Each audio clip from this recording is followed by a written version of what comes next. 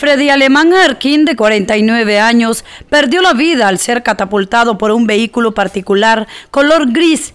Freddy era taxista por más de 20 años, habitante del barrio Fátima de Bluefields. No fue un accidente, fue algo que el otro hombre lo estaba matando en el taxi con un machete. Él se salió del carro, ¿verdad? Defendiéndose del otro que no lo matara dentro del carro. Y lastimosamente fue que el carro lo mató, el otro lo mató. Él, él se estaba defendiendo cuando el carro lo impactó y inmediatamente lo mató. Él estaba taxiando, pues él venía del lado de, de la carretera. Testigos que venían a bordo del vehículo taxi relatan que en el interior del móvil también venían dos sujetos como pasajeros. Uno de ellos en estado de ebriedad intentaba propinarle un machetazo al occiso, motivo por el cual este se salió a la carretera pidiendo auxilio, momento en el que fue arrollado por el vehículo que viajaba a alta velocidad sobre la zona.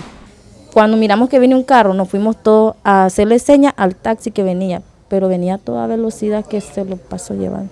Solo quedamos viendo nosotros cómo se lo llevó. Venía a toda velocidad.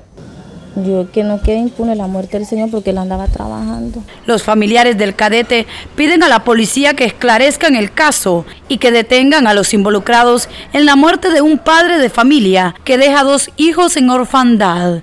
Nosotros como familia lo que pedimos, ¿verdad? Es de que se haga justicia y los dos son culpables, porque según como dice la muchacha, cómo fueron el cómo fue, ¿verdad? La muerte de mi hermano, los dos son culpables. El que lo venía con el machete dándole y cuando el otro por venir con alta velocidad, porque si él hubiese venido a una velocidad como todo chofer debería manejar, no lo hubiera matado de un... Desde Bluefields, Costa Caribe Sur, este es un reporte de Hazel Zamora.